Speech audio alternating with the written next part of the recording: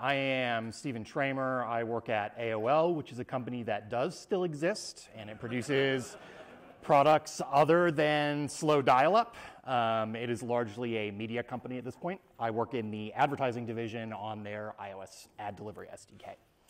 Um, I did not know that my introduction was going to be read, so I prepared this slide where I was going to tell you everything I learned about Australia was from Long Weekend. I recently ate kangaroo on my quest to eat every animal that is widely consumed in the Western world. Uh, and because this is a professional talk, uh, my professional background, I worked on some of the software that runs the Large Hadron Collider at CERN. I've worked on iOS for the last six years. Uh, I have also been a teacher, as Vicky mentioned, and I have been a humorist and games journalist. So I've done a lot of stuff. All right, uh, you don't care about any of that. You're here for this talk, planning migrations from Objective-C to Swift. There will be a little bit as well about migrating C, C++, other old code, um, but primarily the focus is going to be on Objective-C because as iOS and OS 10, now Mac OS, again, developers, uh, it's Objective-C. So why migrate now? Swift has been around for three years-ish at this point. It was around for a long time before that and nobody knew. Uh, and it will continue to be around for the foreseeable future going to take a look at the cost benefit analysis of migration very briefly. There are costs that come with it, uh, even if the benefits are fairly obvious to all of us as developers. Going to talk about top down versus bottom up migration strategies. If you are running a large project, you probably need to think about how you will actually coordinate and organize your migration, uh, which ties right into identifying the vertical slices of your product that you can migrate in those two fashions. Uh, we will discuss preparing some code for migration, and uh, if there is time, and I hope there is, we will talk a little bit about actually producing glue code that allows you to have Objective-C talk to Swift fairly painlessly. Um, the talking to is painless, not the glue code. So why migrate now to Swift 3? This talk focuses on Swift 3. Swift 3 is coming out sometime in perhaps the near future. I could not possibly guess when, perhaps sometime in September or October. Um, it is intended to be the first feature stable release of Swift. Uh, Chris Lattner, who is the Swift lead at Apple, has explicitly said that this is a primary goal of Swift 3. They've tried to remove syntax that they no longer want in the language, and while they may add features in the future, it will only be additions. Additions tend to not affect your code other than making you wish that you could use the additions. Um, the Swift API design guidelines are now locked down. There is an official document on swift.org that tells you how to design and name Swift APIs. This is a huge deal because for a very long time, Apple has published the Objective-C API design guidelines. Now there are Swift API design guidelines. Swift and Objective-C talk to each other very well when your code follows both of those guidelines. The language is now robust enough to support migration. Swift has not always been great. Swift 1 was actually very bad. Swift 2 is better, but I'm not very happy with it. Uh, and then the last one, which we all know, uh, project managers may not know this, developers would probably like to migrate. If you're in this talk, it's probably because you want to do this, or you want your employees to do this. Um, you always want to work with the latest and greatest newest thing, and Swift happens to be very good at what it does, which is a applications programming language. Fantastic. So, cost benefit analysis of migrating.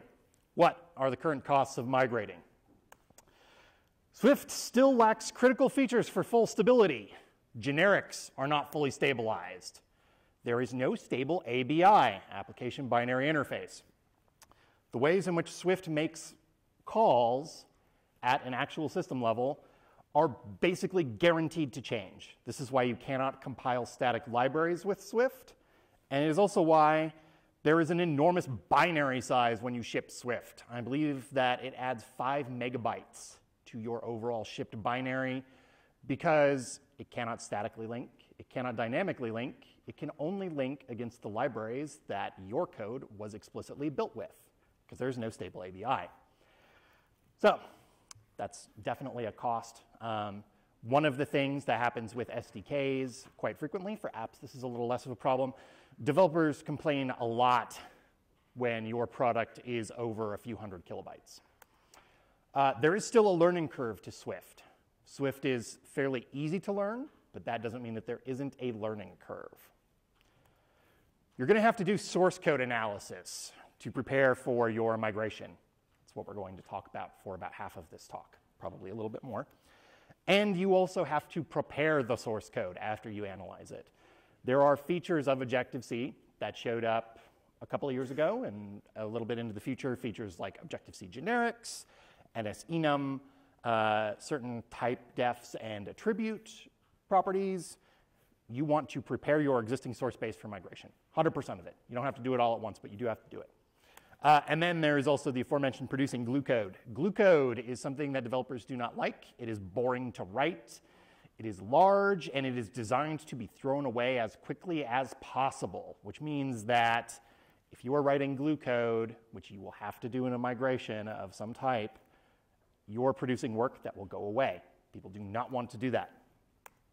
All right, benefits. Well, a lot of people have been talking about Swift at this conference. You are presumably all iOS developers who are at least moderately familiar with Swift. It has a very robust type system. Swift's type system is great. Uh, type checking is something very important. Objective-C programmers do not really have access to a type system, and it leads to sort of a Stockholm syndrome where we think that that's okay. It is not okay when everything is a void pointer. Um, supports functional programming. Functional programming is the new hotness. A lot of developers enjoy functional programming and would like to be doing more of it. Functional programming is also an excellent programming strategy to solve many data analysis and uh, processing problems, which more and more apps are doing. So, safety. Swift is immutable by default. It wants you to engage in those functional programming practices of I have an object and it never mutates, but I use it to construct new objects. We are now in a period of time where safety is very important and memory and processor speed tend to not be very expensive, even on mobile devices. So, safety, very important. I also mentioned speed. Swift is a language that is highly optimized in specific ways to give you very good speed and even low memory footprints sometimes. These are, again, important for mobile devices, despite the fact that they are getting increasingly more powerful with every year and uh, presumably again next week. And the last thing uh, about Swift that is great is it now has an open language development and evolution process. Apple open sourced Swift with Swift 2. Swift 3 has largely been community driven, which is fantastic. Uh, Swift 3, I think, had something like 50 accepted community proposals that made it into the language, which varied from compatibility features to removing syntax to adding syntax to suggestions for how to handle generics, all kinds of stuff. Uh, and it's actually fairly easy to participate in this process as well. They want people to fix compiler bugs. They want people to get involved in the development and evolution process. If you are interested in compilers, this is great. Uh, and the last one, developers will love you if you migrate. Pretty obvious. We're developers. All right, top down and bottom up migrations. The two general migration strategies. Top down migrations are what most of you will be doing. You start at a top layer. Top down migrations start with the UI or the API. Bottom up migrations start with a core functionality of your product. Normally, this is a core library that it integrates. This could be a very low level networking library that you've perhaps developed or used. It could be some critical feature that is used by all parts of your app. It could just be a set of utility functions. It can be anything as long as it's commonly shared. So we're going to look at this highly arbitrary uh, graph that I made of a project. Uh, if I can move the little pointer over here. All right, we've got a UI layer. We have what's called layer one, layer two, layer three, and core functionality. So top-down migrations, start here, up at the very top. You don't really need to write glue code. Swift is excellent at calling Objective-C code.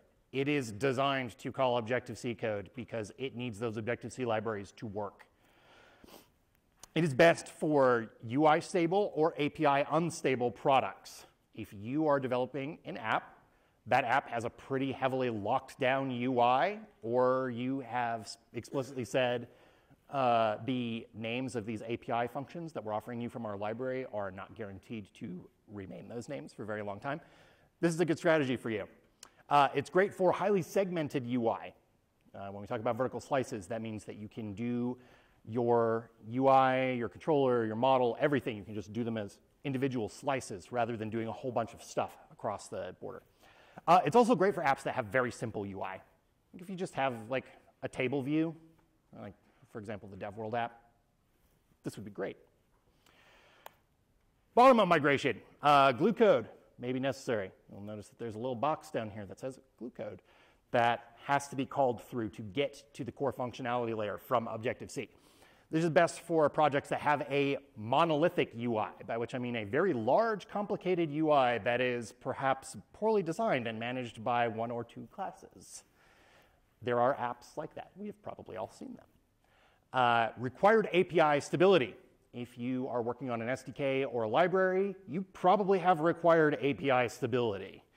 If you want to migrate to Swift, well, not only do you have to wait for a stable ABI, you will probably need to do a bottom-up migration.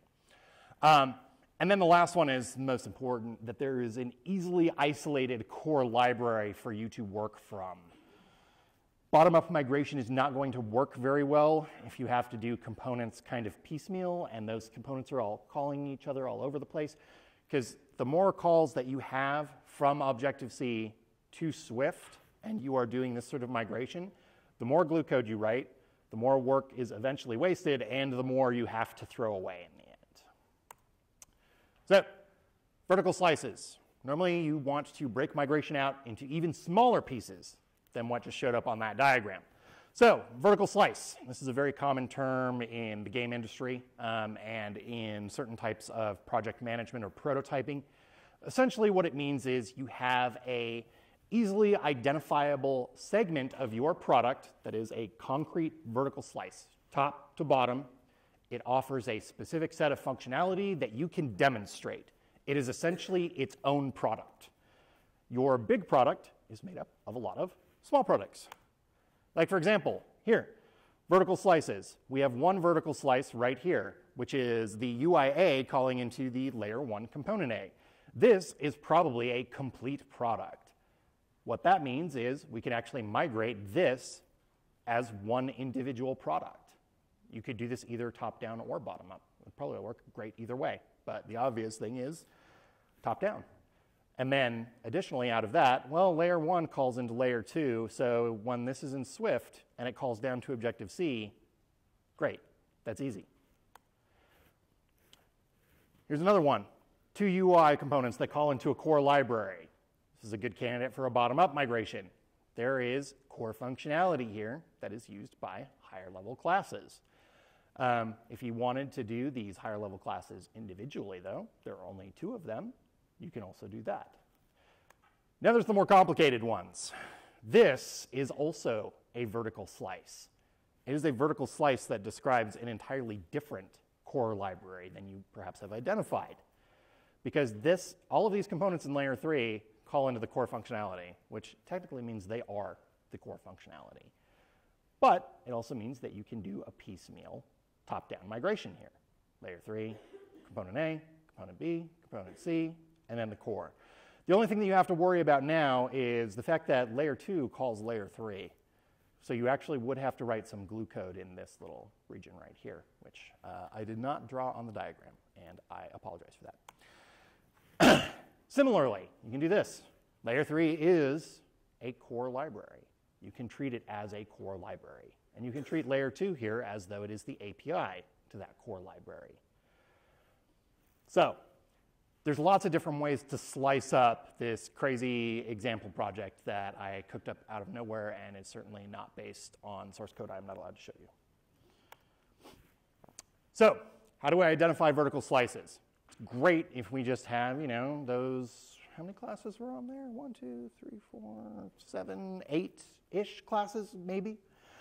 Um, but our real products are not like that. They have tens of classes, if we're unfortunate, hundreds of classes. Um, there's a wonderful tool for doing include graph analysis called obcdep. What this does is it crawls through your source code. It looks at include statements, pound include statements. It does not look at imports. This is very important. It's an issue with the fact that this is several years old. Um, and it generates a dot file, which you can look at in OmniGraffle. You can look at it through GraphViz tools, whatever you would like. Um, it does, however, only tell you part of the story. It's, it's an include graph. It doesn't tell you what is used, doesn't tell you where it's used, it doesn't tell you if it's used. Includes have a habit of sticking around even when we are no longer using the code that is associated with them. So here's a case study. Here is a graph that is, again, uh, definitely not from proprietary source code that had everything renamed in it. Um, so I actually colored this little red box here in the middle so it's easy to identify, but here's where we would want to start the migration, a root class. It calls out to a whole bunch of different things in this diagram. Uh, and this is what's called a force-directed diagram. It's a little difficult to read.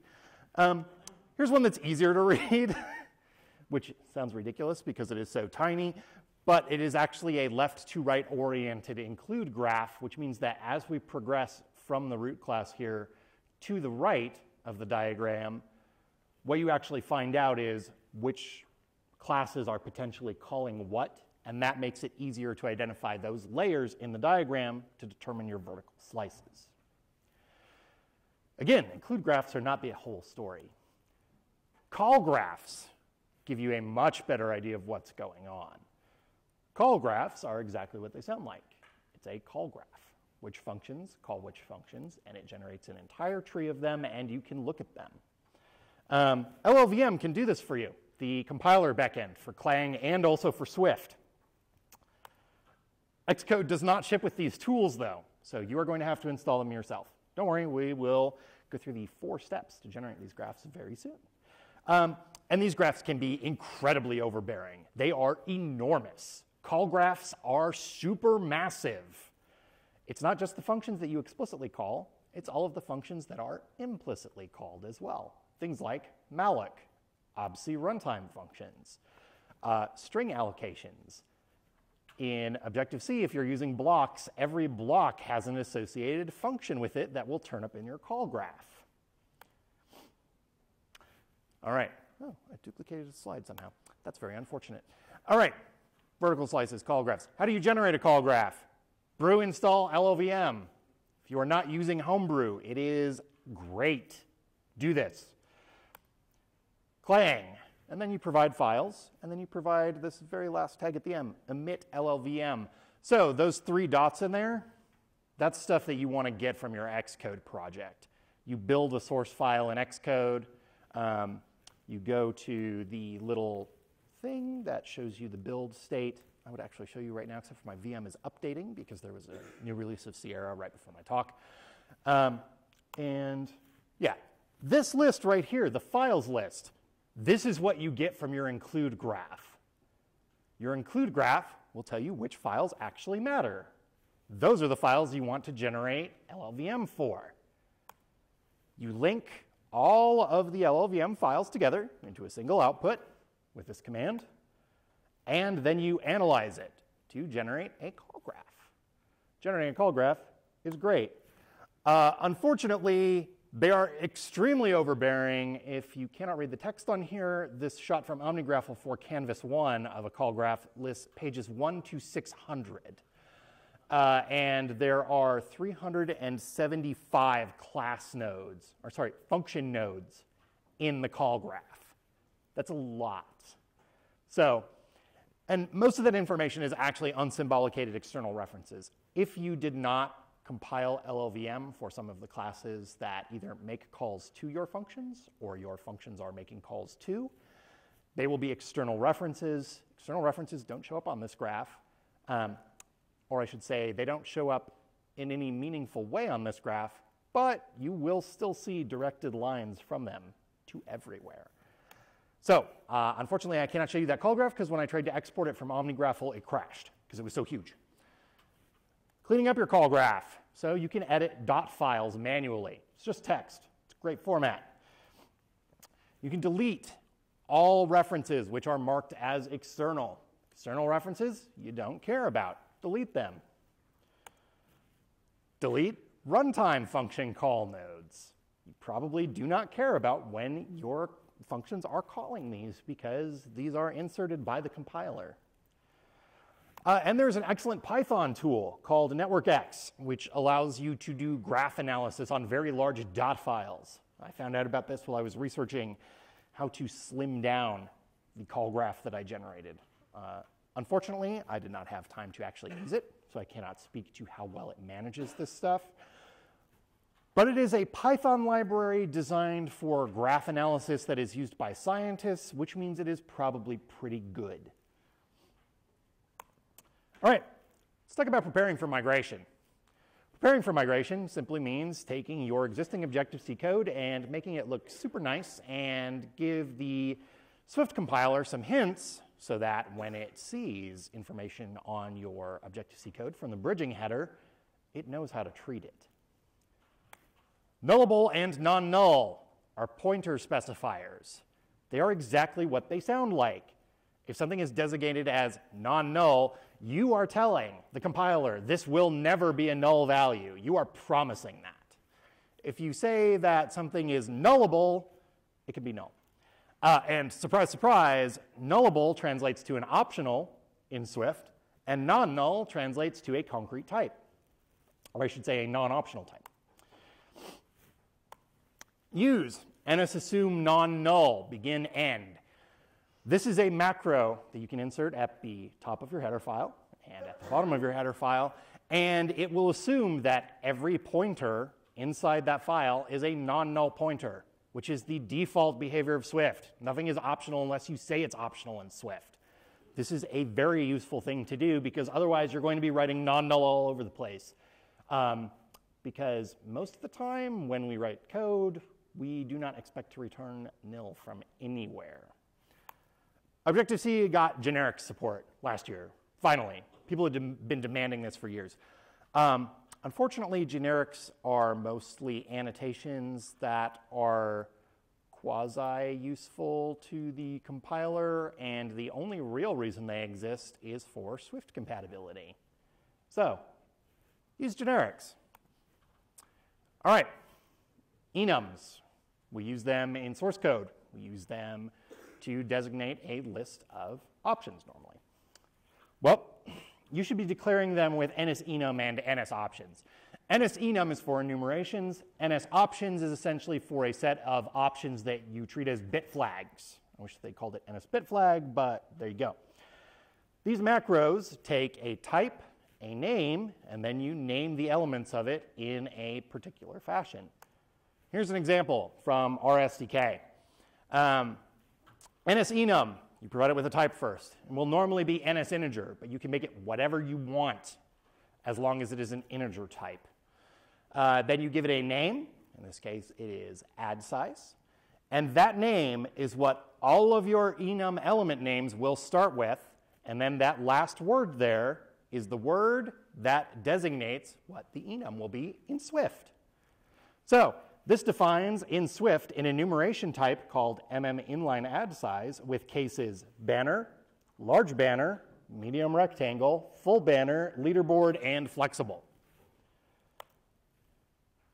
Options is very similar, except for you probably actually want to follow the bit flag values.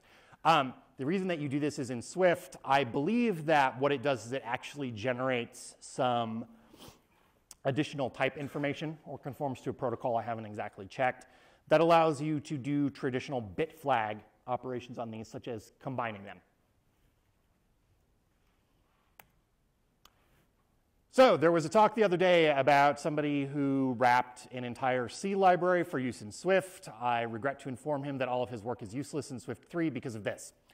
Um, there is a new attribute provided by Swift 3, I should say by Clang, to be compatible with Swift 3, where you provide an actual name that your C function gets in Swift. It is correctly namespaced. It treats things as objects. It's fantastic. Um, All it is, attribute Swift name, you provide it with a Swift name. Uh, if you provide an argument called self, it is considered to be a method. If you do not provide that, it is considered to be a class function, a static method. But this is not required. And the full description is in Swift Evolution 0044. This is a document on the Swift Evolution Git repo, which there will be a link to at the very end. All right, next thing that you want to migrate, extern const. Extern const is a series of extern consts. They can be enumerated. So this is stuff like string values that in C you can't place into an enumeration because it's a string value but they're all associated together. And well, with Swift 3, there is now a way to declare these extern consts as a type. You can declare them as an aggregate type, much like how NSEnum works. Explicitly, you type def, you have a type, give it a new name. Uh, the type there, by the way, is the type of your constants. Attribute, it's a Swift wrapper. It's either struct or an enum. There's different uses for each. And then you give them some values. Uh, struct for extensible enumerations and enum for non-extensible enumerations. The examples that are used are uh, error codes and like a specific, or error domains and I think like a specific set of um, features. This is described in SE0033. These documents are great and incredibly comprehensive. It's where I took most of the examples from. All right, errors. Go through this really quick because NS error enum, it looks exactly like NSEnum except for you also provide a domain. SE0112 fully describes this. Uh, but it is maybe not implemented yet because when I tried to do it, it didn't work. All right. Probably got like five minutes, so I think that I can go through glue code real quick. Um, Top-down glue code covered by Swift being able to call into Objective-C. They took care of this for you. The at obc annotation, that's what we're talking about. Bottom up glue code, well, at obc, that works fine. That's how Objective-C calls into Swift. You've probably seen it if you've read the existing documentation on connecting Swift and Objective-C code. But you will need to manually wrap structs, enums that derive from a class, top level functions. These are all things you want to be using in Swift because they're great. You cannot directly translate them to Objective-C. Here's a slide with a lot of code on it. This shows a struct in Swift and the accompanying glue code that I had to write for it. There's a wrapper. There's an initialization function. There's two of them, actually. One of them is for Objective-C, one of them is for locality. Functions that wrap and unwrap the location between Swift location and an Objective-C location wrapper. Um, and then Swift does not have dynamic function dispatch yet, well, explicit introspective dynamic function dispatch. So you have to manually wrap every individual function. Tuples. These are very easy. A tuple is just contiguous data. Uh, in C, you declare it as a C struct. Um, it's contiguous data. It's a C struct. Uh, and then in Swift, you provide a function to wrap it because a, uh, excuse me, a tuple is not what Swift calls a nominal type, so you cannot provide it with an extension. However, you will notice there, extension coordinate wrapper. Uh, C structs in Swift are treated as Swift structs, which means you can extend them and put functions on them, and it works great. Algebraic enumerations, um, algebraic types, enums with associated values, whatever you want to call them. Uh, here's a relatively simple one. Here is the C code. I'm going to break this into two slides because the Swift code is very large. Um, you enumerate what each of the tags are. By the way, I fed out those tags by inspecting the results of the compiler. So you do actually have to do some work to generate this outside of just thinking about it. Um, and then if you've been a C programmer for a very long time, you probably know what a tag union is, which is what C++ classes were back in the very old days. It is a union, which is a single value data size type. Uh, that has a tag associated with it that tells you what value to read out of the union. Again, Swift treats enumerations as contiguous data, it turns out. Here is the code for handling this contiguous data. Again, we get to extend position locally, we wrap it. The wrapper code here is more complicated because we have to deal with the enumeration and individual tagging. Um, the tags are of different types, so you can't easily translate between them, unfortunately. Unwrapping is very similar, except for you can actually just do it in a switch, and then because of the convenience initializers made from Swift, just pass the associated value back. It's great. However, this comes with an extreme warning. You can't direct map enums all the time because Custom Swift LLVM has some features that they say are good. Here, here's an example of a function that you can direct map. Returns a position. That little enum that I just showed that has three different types, three different associated values. If we turn it into an optional, it is no longer okay. Remember, optionals are just enumerations. Syntax sugar. This is a really a type of optional position. Uh, so what the compiler does is the second example optimizes to use a scratch register which violates system V calling conventions, which means that you cannot directly map the return value to a C type, and that is bad. So you actually have to inspect the results of the compiler to figure out whether or not you can even do these things. Last type of glue code, top level functions. Well, a top level function, you cannot call it directly from Objective-C, unfortunately. But you can wrap it in a class accessible from Objective-C, and you can declare it a static function on that class. So now you can call it. Um, by the way, throws keyword here. Normally, that is automatically translated by Swift into this extra error here, the NS error pointer, the traditional way in which we catch errors in Objective-C, the error pointer pointer. Um, however, I found a bug in the Swift compiler. There's a compiler bug here because we are actually returning a C struct, and it doesn't know what the hell to do, so it blows up and doesn't compile it. Now, let's talk very briefly about how I figured all of this stuff out, because I mentioned you have to inspect compiler output. swiftc emit SIL, IR, or assembly. It turns out there are two different intermediate stages for Swift, and there's an assembly stage. The first intermediate stage is called Swift Intermediate Language. Second one is LLVM-IR, which maybe you have heard about at some point. And the final stage is assembly in whatever target you're compiling for. So in Swift, let's say that we have our midpoint function that no longer throws anything because uh, throwing things really screws stuff up. In Swift Intermediate Language, we get the mangled function name, and we actually get some additional information about the types that are taken and returned by it. Very useful.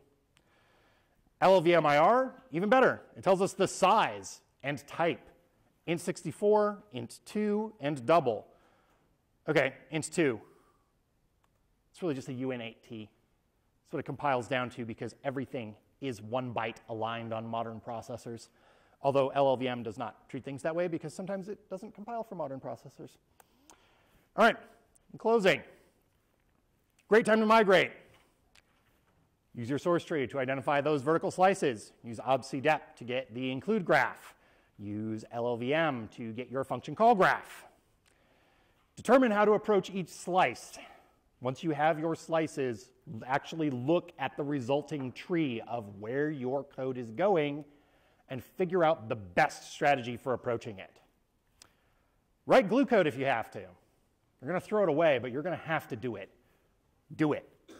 Um, and then get involved in the actual Swift evolution process if you want the migration tools to get better. There's absolutely no reason why structs could not be directly wrapped. There's no reason why enums couldn't be directly wrapped. It's just the Swift team hasn't chosen to do it yet because there's not a good proposal for doing so yet.